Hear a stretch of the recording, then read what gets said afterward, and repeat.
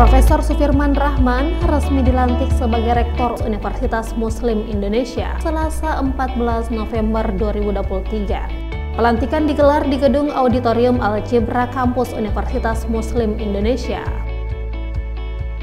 Profesor Sufirman Rahman diambil sumpahnya dan dilantik oleh Profesor Dr. Haja Masrur Mohtar yang merupakan Ketua Pengurus Yayasan Wakaf Universitas Muslim Indonesia melantik saudara Profesor Dr. H. Subirman Rahman SH MH sebagai Rektor Universitas Muslim Indonesia masa mana 2023-2026.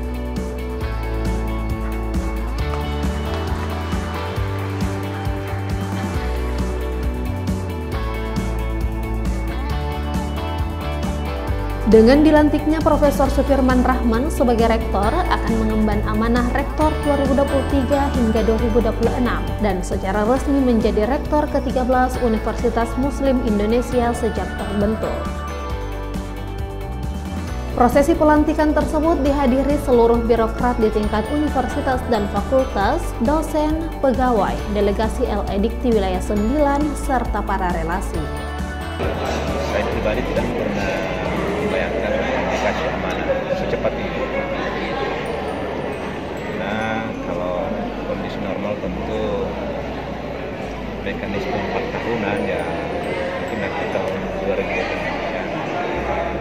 Tetapi Yayasan Wakaf ini sudah mengambil kebijakan dan keputusan yang strategis.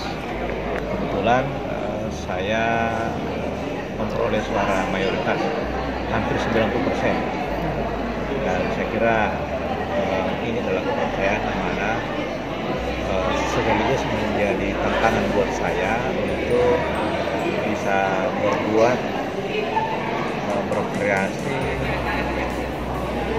dan berprestasi lebih baik gitu kan.